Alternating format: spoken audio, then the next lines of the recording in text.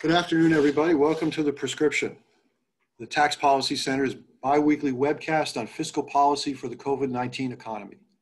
This is one of a series of conversations with state, local, and federal government officials, as well as leading economists and other experts. I'm your host, Howard Gleckman, a senior fellow at TPC and editor of our blog, TaxVox. Our guest today is former IRS Commissioner Charles Rossotti. Mr. Rossotti was IRS Commissioner from 1997 to 2002, but his background was not in tax.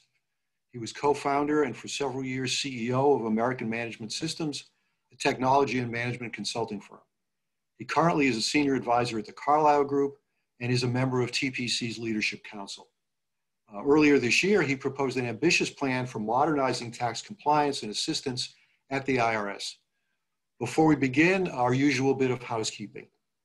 We encourage audience members to submit questions in the Q&A box. Uh, when you do, please identify yourself and your organization. Uh, this event is being recorded and it will be posted online at TPC's website in the near future. And if you'd like to join the conversation on social media, please use the hashtag live at urban. Commissioner Rossotti, welcome to the prescription. It's good to see you again. Let's start by talking about how the IRS is doing uh, during the pandemic.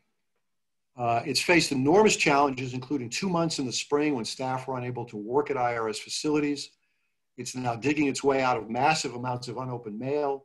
It's still processing tax year 2019 tax returns. And it was asked in March to make stimulus payments to what turned out to be more than 150 million people. Overall, how would you grade the agency? Well, I'd say that the, the good news is, and it is important, is that they did the most important thing that they had to do in the very difficult circumstances. They got it done. They, for the most part, processed the returns coming in in the filing season. Uh, and they got out, uh, as you said, those uh, economic relief payments um, at the same time that they were essentially operating, you know, under severe restrictions because of the COVID.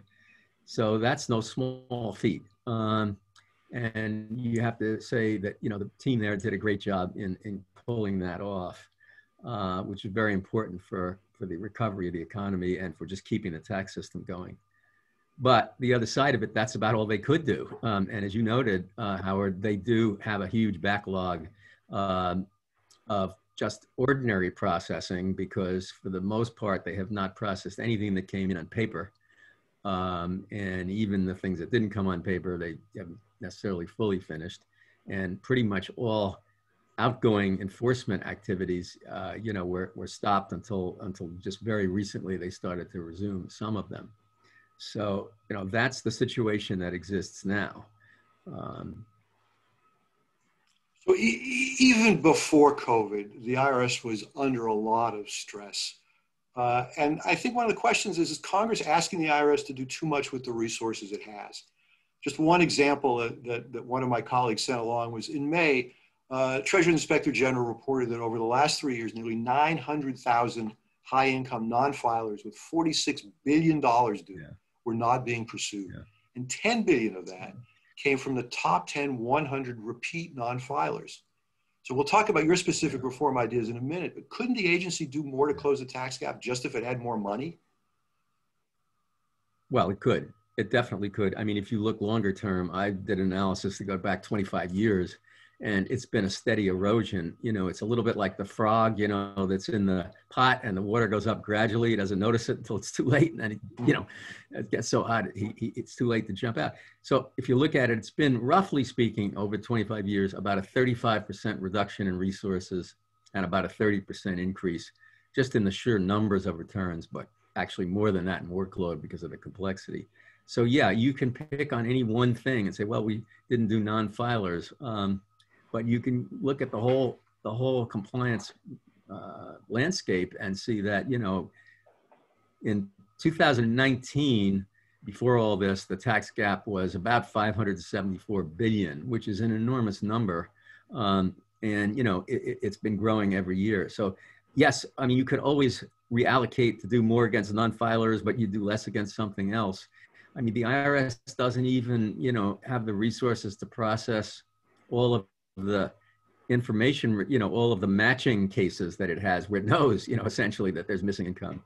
so that's just a fact. Um, but if you look going forward, if I could just add one more thing, there's some new challenges even now because, let's say, on the large business sector, as part of the CARES Act, uh, the Congress allowed uh, five years of carrybacks for corporate tax losses for the, the last during this period of losses. So what are we going to have in the large corporate sector? We're going to have an avalanche of gigantic refund claims from businesses that lost gigantic amounts of money as during the crisis. But as you can see in the stock market, there's plenty of especially technology businesses that are making unprecedentedly big profits and they're the ones that have you know the greatest flexibility to reallocate that money for example overseas and other places so that's that's just on the corporate sector and that's really mostly not even part of the tax gap they're going to have a huge challenge there and then as far as the regular, you know, ordinary run of the mill compliance, I mean, just digging out of the backlog, you can't take half a year off and expect to not lose anything. So I, I would expect that, you know, whatever the situation was, it's, it's going to be, you know, even more dire, you know, over the next couple of years, it, it, assuming it just stays the same situation. I guess on the corporate side, one of the big challenges the agency has is it's lost a lot of its most experienced staff and now it's asking relatively inexperienced people to deal with wow. even more complicated issues on the on the corporate side, as you noted. Well, I mean, actually, I, I, that is that's an excellent point, Howard. But it's even broader than that because, as you can tell, um, and I don't have statistics on this, but you know, as a result of the COVID crisis, I believe that the attrition rate has gone up, uh, you know, across the board, and so there's the, the people that are there are left doing more. So there's a rebuilding, but you know, there would have been a rebuilding anyway, but now it's going to be even more of a rebuilding. We're not in a good situation as far as tax administration is concerned. You know, there's just no doubt about it. I mean, a lot of the money keeps coming in because you have withholding and, you know, you have a lot of income that's, that's you know, people can't avoid, uh, you know, paying taxes on. But beyond that, we don't have the resources or the programs that we need. On the other side of the ledger, uh, for, for, for years, as you well know, uh, lawmakers of both parties give lip service to simplification. But every time they pass legislation, it seems to make the code even more complicated. Yeah. And, and that's kind of the basic question is the Internal Revenue Code just too complicated for the IRS to administer? You know, um, it's an interesting theoretical question, but, you know, it doesn't lead to anywhere, I don't think, because nobody has really proposed. I mean, we did have some simplification on the individual side by having the standard deduction increase. As you know, that takes some people out. So that's, you know, you could say that's a simplification. But on the business side, I mean, and this is a longer topic, I really don't think that there, especially for larger businesses, there's any way that you would ever solve this problem without changing the definition of income to be something that is more aligned with the way companies report, you know, to their shareholders and creditors that has external audits and has a standard because, you know, the the the the, the, the um, complexity and the, and the and the differences is really is really you know what creates the opportunity for uh, minimizing taxes. So that's a longer topic and a much bigger topic, but I, I think that in the on the in terms of the business side, especially large businesses, that's really the only route that I think could ever ever really make a big dent in solving that part of the problem. But on the individual side, thankfully, you know, we did get the, the individual deduction, the standard deduction increase. So that's helpful. Mm-hmm, mm-hmm. So there's another issue I wanted to ask you about uh, before we get to your proposal. And, and that's a, a, a, a, to me, a very troubling issue. We're living at a time when much of the federal government is at risk of being politicized. Uh, the Postal is Service what? sent the risk of being politicized. The, the Postal Service, oh, the Census, the Justice Department, yeah. even the military. And I wonder, do you worry yeah. about political influence affecting the ability of the IRS to do its job? You know, uh, I really, you know, barring some other change that might happen that I haven't seen yet, I really don't. Uh, you know, you might be surprised at that, but that's one place where the IRS is really resilient. Um, it's really quite resilient.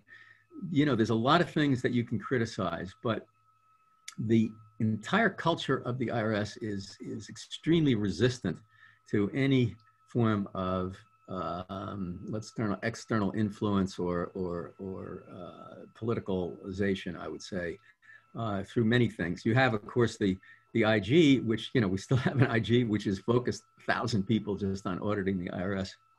Um, the, you know, the culture internally is very focused. There's a lot of education and just, you know, tradition and, and, and, and education that goes with uh, making it clear how things will be done. So, you know, anything could happen in the future, but as of now, I mean, I really don't worry about that too much inside the IRS that might be one of the few good things, uh, good news things I could say. It could not that it couldn't change, but it would take a hell of a lot of work to change that.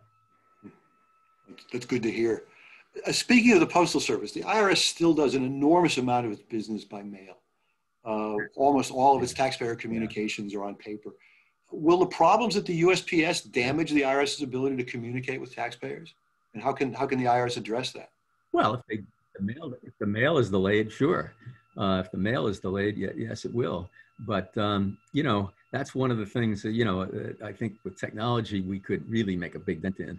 And I will say that the one one, you know, uh, silver lining, let's call it, uh, you know, in, in in the in the COVID thing, is that the IRS is doing more work uh, remotely. It's even audits. Uh, it's allowing exchange of documentation. It does have some technology programs to that are in place and being scaled up to have more of the communication with taxpayers be electronic. And so the answer is for now, of course, yes, they're dependent on the Postal Service to a significant extent. If that is delayed, then it's going to be a problem. But that is a solvable problem, you know, in the relatively near term. Let, us talk about your IRS reform plan. Uh, you say that with better taxpayer reporting and better use of data, the IRS could reduce the tax gap by $1.6 trillion over the next decade. That's a big number, but let, let's start if you could just briefly describe your plan for, for our viewers. Yeah. Well, it, it's really very, you know, there's complexity in how you would implement it, but the idea is very simple. As you know from IRS studies, that the biggest part of the tax gap, the, the, the amount of income that is not reported and which taxes are not paid, is very heavily determined by how visible that income is, which is the IRS word, meaning how much is reported by third parties. For income that is fully reported by third parties, like wages, pensions, and most dividends and interest, you've got 95 to 100% compliance rate. For some income, especially certain kinds of business income, which is not reported at all, you know, the, the reporting rate's less than half. I mean, that's a huge difference. And if you look at where the tax gap is, which is big as it is, that's the biggest part of it. So the proposal that I am suggesting is, is, is really just building on that simple principle by saying that where we don't have visibility because we don't have reporting, we would institute some additional reporting. I can get into the details of that. And then, but that would also require some new technology because even as I said now that the IRS doesn't even use all the information it has. I mean, one, one example, it doesn't even process all the matching cases, which it could do because it doesn't have the resources. And that's partly staffing, but it's also partly old technology. But then you look at some things they have now. We have, I've forgotten, 40 million, I think it is, K1s that come in, which are, you know, you, you know what K1s are, the reports from partnerships and so forth. The IRS doesn't have any automation to deal with those. I mean, the only time those are ever used is if somebody pulls them up in an audit. There's no reason that couldn't be done. Now, that does require more complex technology. I actually had a pilot project when I was commissioner. It didn't really work because we didn't have the technology. That's an example. And so with some additional reporting on this low visibility income together with, you know, an upgrade of technology, and it's not, you know, rocket science technology, it's stuff that's already being used. The IRS, for example, has one really good project program that it's done that GAO has credited them for to use more um, effective technology on screening, you know, fraudulent refund claims. It's gotten some real pro progress on that. Um, that's the kind of technology we're talking about. And, you know, with the two of those things together, now you said 1.6 trillion. Yeah, it's a big number over 10 years. But all it says is that after 10 years of work, if we invested in it, we would reduce the tax gap by 29%, you know, over compared to what it would be. You know, if we, if, if that's, if that's too big a challenge for the United States of America, then I, I, I think there's something wrong. It's just that, you know, unfortunately, there's an air of resignation, like we can't do anything about this, but actually we could. Now, it's not a quick fix it would take, you know, it would take a sustained effort. And I think it would take some legislation, you know, similar to, for example, what Congress passed in 1998 that mandated electronic filing, you know, which nobody thought could be done then, but now we're all electronic filing. So if you got a correct mandate from Congress and, you know, you put the right leadership in, I, am really confident that you could do it. Not, you know, not quick fix, but over a 10 year period, there's a lot you can do.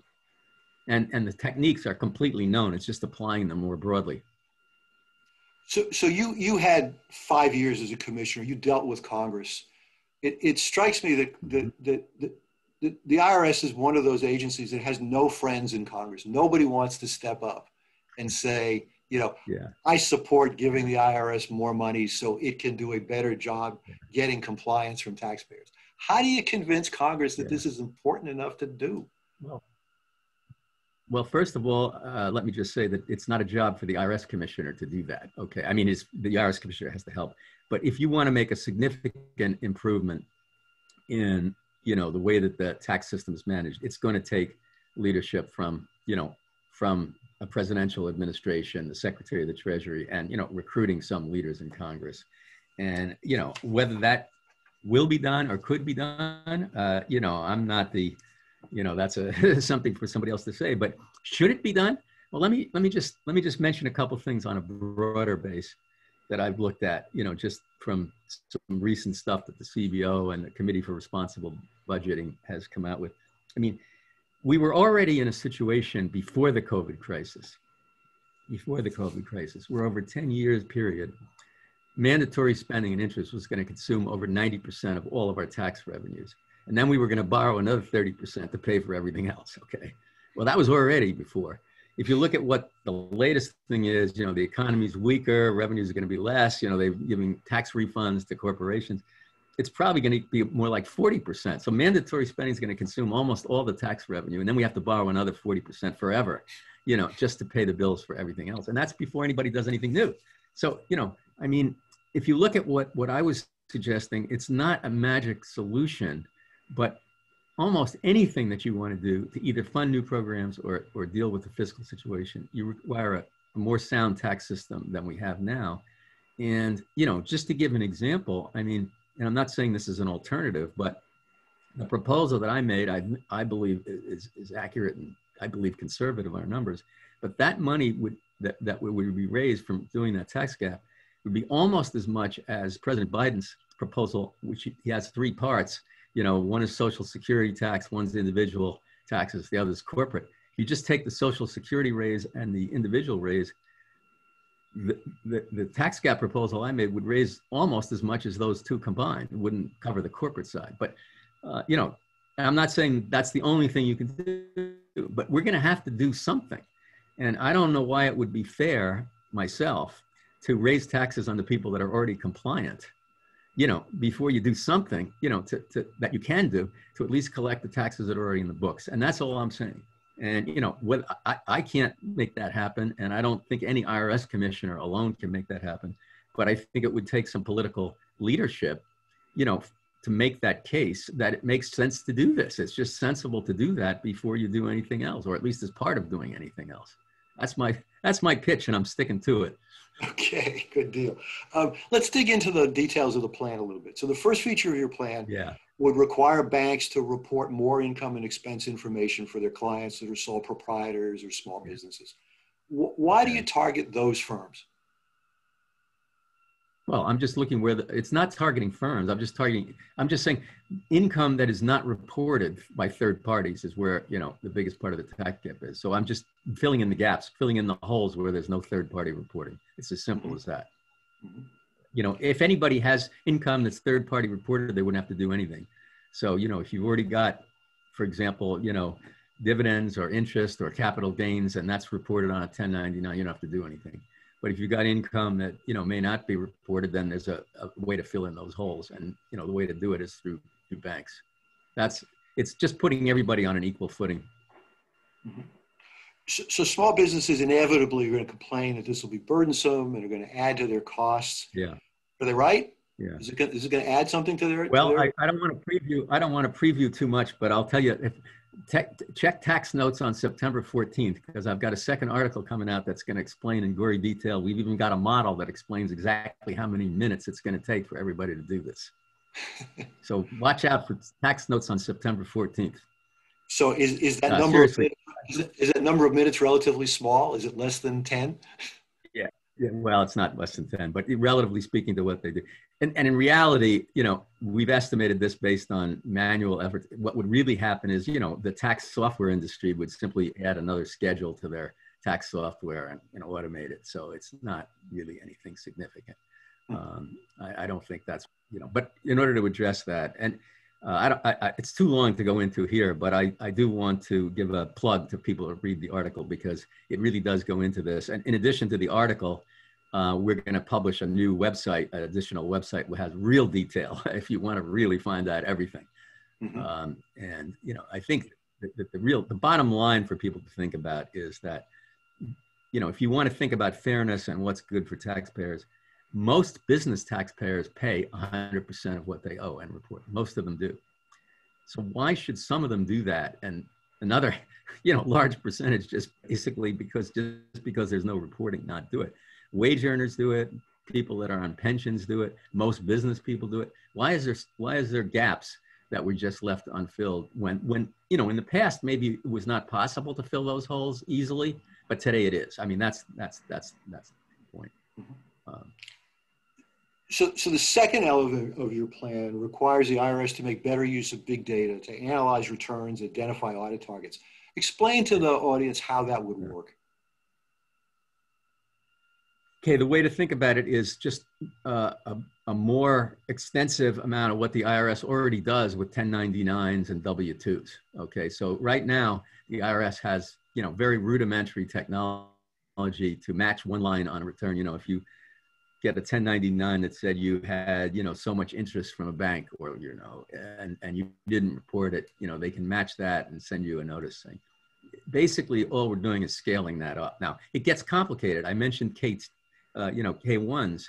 I mean, there's a huge amount of income that comes in on K1s from partnerships and S corps and any kind of pass-throughs, which is uh, not matched. You know, it, the inf- information is there, but it can't be used because the technology, you know, it, it's complicated. You know, it requires, if you've looked at a K1, you know, exactly how many lines there are and where they go.